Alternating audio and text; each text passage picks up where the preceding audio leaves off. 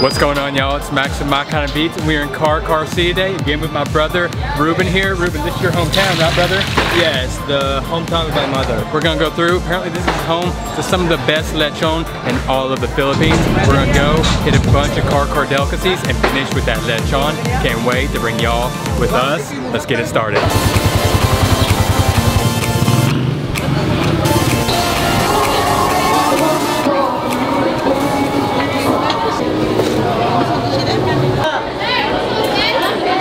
Got people lined up here for a lot of intestines, got liver, just all types of offal right here. Oh, we're in the lechon area. It's busy, it's packed, it's crowded, it's fast-paced, and this is more pigs than I've ever seen in one spot before. So that's what the Carcar Market's actually famous for, is the lechon little area.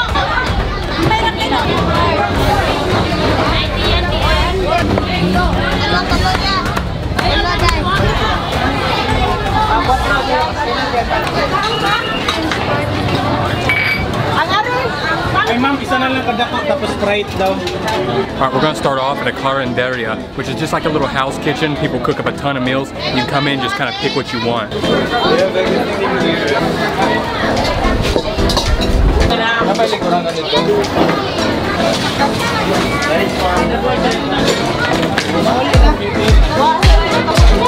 Oh wow, I'm loving this market. It is high paced, it's busy, it's crowded, it is lunchtime, people are hungry, and it is fun. You can just hear the dishes and the silverware just clanking and crashing, people yelling out orders. Ooh, this is the atmosphere you love right here.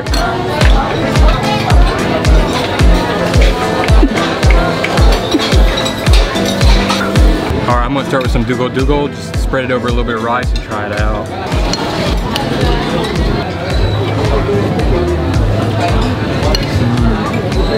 Oh, it is just rich.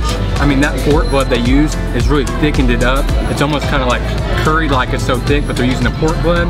Great pork flavor from it. Really salty. You got a big kick of saltiness. And what I love about the Philippines, you can tell they're adding acid to that because it's got that little bit of freshness to it. That little bit of making your mouth water. Oh yeah.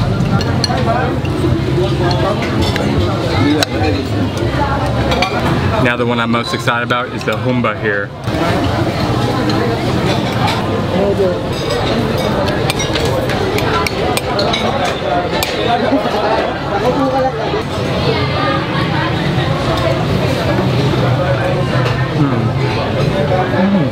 Oh, I love that fish. I mean, it's got like a maple brown sugar sweetness to it. But then the pork belly they use in Asia, the fat piece is thicker, so that cooks down. It's just creamy, melts in your mouth. The meat is tender. Wow. And then all that sauce just soaks into this rice. Oh. Now I'm gonna get some of the bagoong, the shrimp bagoong paste, it on some rice, check it out. This is my first bagoong experience, so I'm super excited. I've heard so much about it, and this is true Filipino flavor right here. Oh yeah. Mmm. It's salty, intense shrimp flavor. Oh yeah, that is the condiment you want right there. I just want to spread this all over my rice and just eat that. Wow. Okay, last thing I got is a little soup, but I already know I'm gonna put just a little bagoong on it, just give it a little extra kick.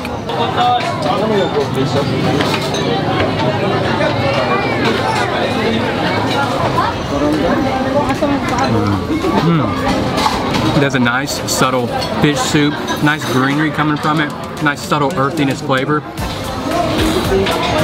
Mm, that's just subtle, light, very nice fish soup.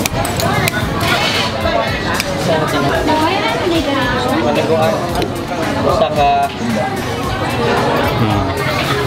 Things I want to keep going back for is Dugo Dugo, the Humba, and the Bagoong. Those are the winners for me here.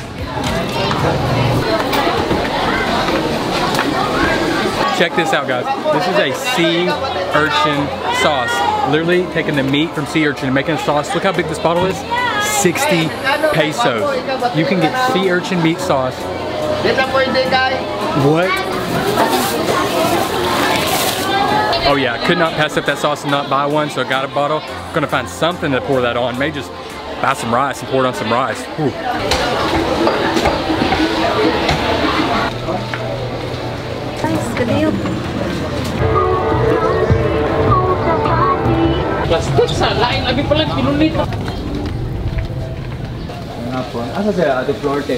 All right, we walked just outside the market to Ruben's aunt's house because she makes chicharron and they're making some fresh right now.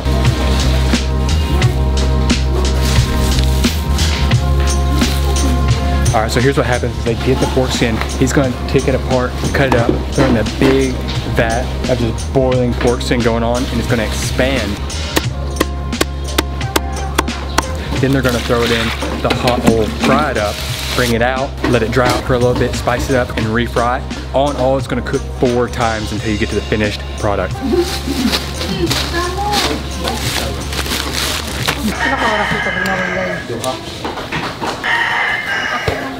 All right, just found a nice spot to sit down here. We got three kinds. We got a spicy with meat, we got a original with meat, and then we got the original with no meat at all, just a skin.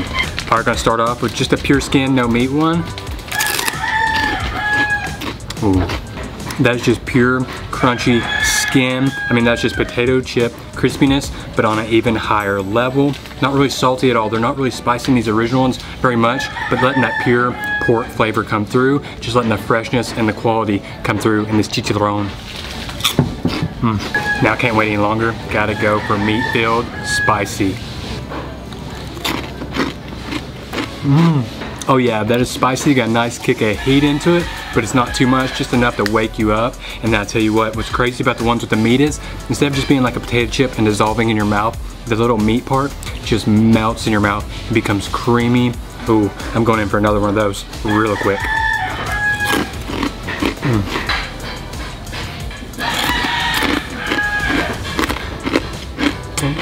It's just so fresh. It's so crunchy. It's so meaty. It's creamy, intense pork flavor. Like I said, the original, um, they're just letting the meat, the pork flavoring come through, and then you get the crunchiness, greasiness melt in your mouth. But you know me, I'm always gonna take that kick of heat. Mm. Oh, big shout out to Auntie Flora for letting me back here seeing the process and trying some of that freshly made chicharron.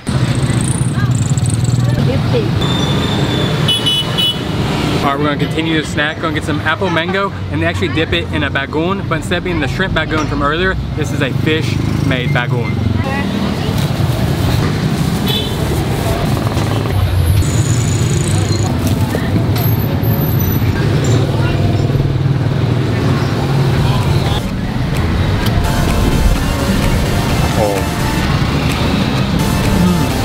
The contrast in flavors, they're extreme opposites. That bagoong is very salty, very pungent, and then you get this, it's slightly sweet, tart, crunchy, but then again that bagoong, you know, it's kind of been formed down, so it's got a little bit of creaminess to it. I mean, these are just polar opposites, but when they come together, they're everything you want. Oh, wow.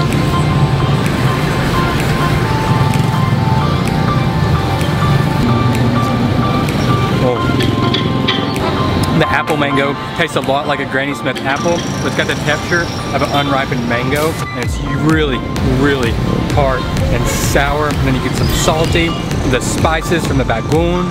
This has just got everything. Got to keep going back in and dunking. All right, we are headed for some lechon in just a second, but first, I want to try one more little thing, kind of help get the appetite going. Alright, we're gonna get a little drink of some coconut liquor before we head for that lechon. Like I said, gonna help get that appetite going.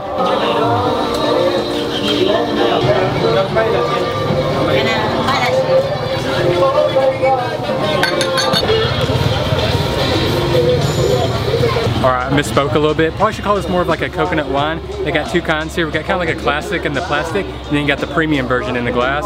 We're gonna start with the plastic one and see how it is. Oh, wow. Like I said, it's nice, it's smooth, got a slight little burn to the end of it. This is a lot like a wine. You're getting a lot of flavor at the beginning, then the burn at the end. It's got coconut flavors. I mean, it's a little bit fermentation. Kind of gets you just a little bit of sour to it, but it's deeper, it's darker than that. It's got some carbonation to it. Wow, this was this had so much more depth and layers to it than I thought it would. Now we got the premium Bahalina, and you can see, look how much darker and deeper in color it is. Oh, little coconut wine, here we go. Whoa. The premium, it's so much more sour. You can really taste like the fermentation. I mean, it's almost like a sour alcohol more than anything coconut I would I would not known this is coconut by trying it. It's so sour and got a nice little burn and kick of alcohol to the end of it. That was crazy how those two were so different. And we are back. We are in Lechon City. People trying to grab your attention, giving you samples. They want you to have their lechon. But they can't persuade me. I'm here with Ruben today. They're gonna have to persuade this man. And then whatever lechon he picks, we're gonna feast on.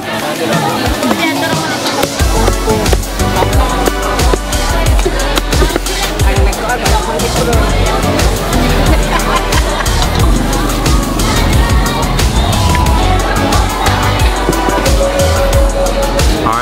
feast today. Towel off just a little bit, even though it's not gonna help. Oh, I'm sweating hard, but just enjoying every moment of this. And you wouldn't be in the Philippines without a nice little Mountain Dew to drink. Now this, you can eat alone, but some people pair it with vinegar to eat as well. I'm gonna try it with the mussels, the lechon. I'm gonna put it in everything.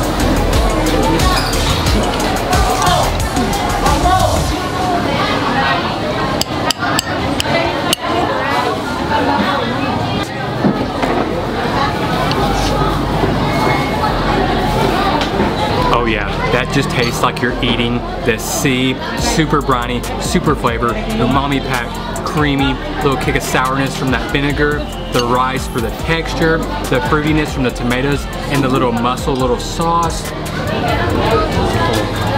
That sea urchin sauce is unreal. Harvest this morning, made the bottle this morning. Oh, but let's quit putting it off. Let's get some of this lechon de carcar. Look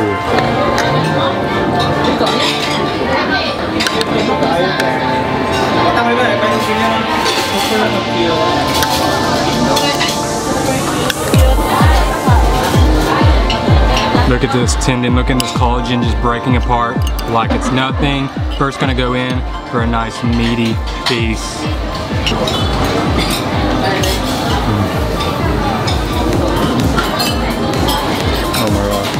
The meat flavor is still seasoned so well. That's the tastiest piece of just pure lechon I've had. I mean, you could have fooled my brain to thinking that had some spring onion in it. It had the garlic, it had the spices. It's salty, it's juicy, luscious pork meat.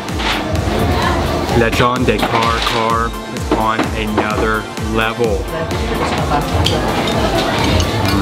And look at this, the skin, it's still got a huge thick layer of the fat as well. Oh my god. Imagine the crispiest bacon you've ever had, but flavor packed with a nice thick layer of melt in your mouth, creamy, fat, spice packed, and that's what the lechon de carcar skin on the lechon tastes like. I'm just, I'm speechless, that's unbelievable. You know, the other day I had Talisay lechon, and I almost didn't think it could get any better, but lechon de carcar, proving me wrong, y'all. I hate to say this, but that's some of the best roast pork I've ever had. All right, we have stepped out of the market and we're in Carcar Circle. Y'all, I am stuffed full of pork products right now, but I do want to try a few Carcar sweet specialties before we finish this video.